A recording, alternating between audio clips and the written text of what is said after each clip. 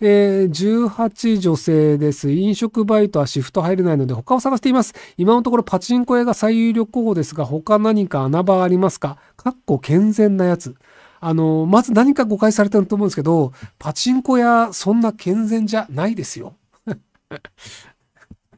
えっと、あの、そのなんか、あの、専門学校通ってるとか、大学通ってるとかであればいいんですけど、もしその働くのであれば、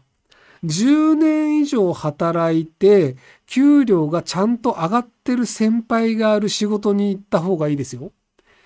要はその28歳の女性の方で、あの手取りが、まあ今18で入ると多分手取り15万とかと思うんですけど、で、じゃあその28歳の自分の先輩が手取りがそのなんか、えっ、と、10万ぐらい増えて25万とか30万とかになってるかどうかを確認してください。で、そうならない会社で働くと、自分の給料も上がらないっていうことになるので、人生を本当に損するだけで終わりますよ。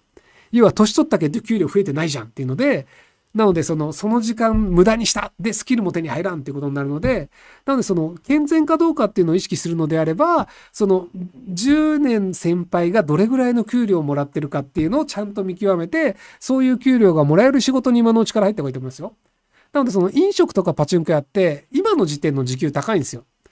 例えばそのなんか事務職だとなんか時給800円だけど飲食店だとなんか時給970円とかパチンコ屋だと時給1030円みたいななんかおパチンコ屋の方が全然給料いいじゃんって思えるんですけどそれを何年も続けても上がらないんですよ。で、むしろその事務職って10年続けると、その会社の中でできることが増えて、転職もしやすくなって、いい給料の会社に行けたりっていうのがあって、実は10年後にもらう金額でいくと、まともな会社に行った方が給料増えたりするんですよ。